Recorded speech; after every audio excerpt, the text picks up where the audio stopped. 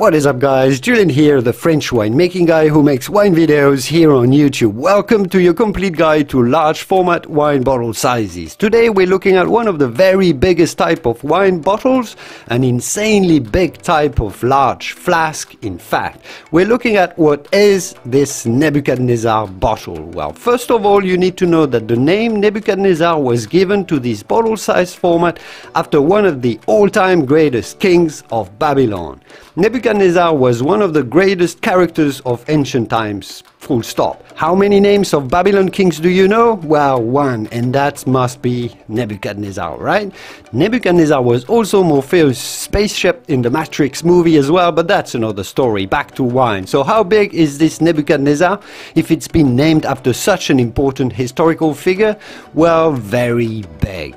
If you watched that other video that I made about a double magnum, a 3 liter bottle, you'd remember that this holds 20 standard wine pours or 20 glasses of wine wine. Not bad for a nice dinner party, right? Now, a Nebuchadnezzar simply dwarfs a double magnum, as it contains not 3 liters of liquid, but 15 liters of fermented grape juice. And that's, here's this well, the equivalent of 20 bottles of wine.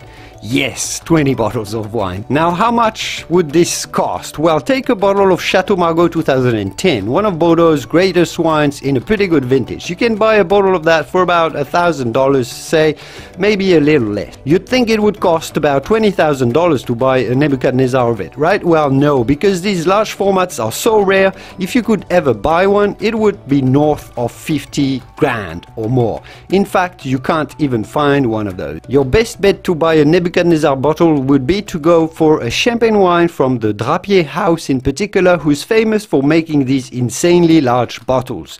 And they're not actually crazily expensive. Looks like you can buy one for around 1300 pounds. So about say $2,000. Not bad for a special celebration, right? I'll leave it here for today. If this video was useful, give it a quick thumb up before you go to support my work and feel free to have a look around my channel if you enjoy learning more about wine and I will see you soon in the wonderful world of wine. Cheers, santé, bye bye.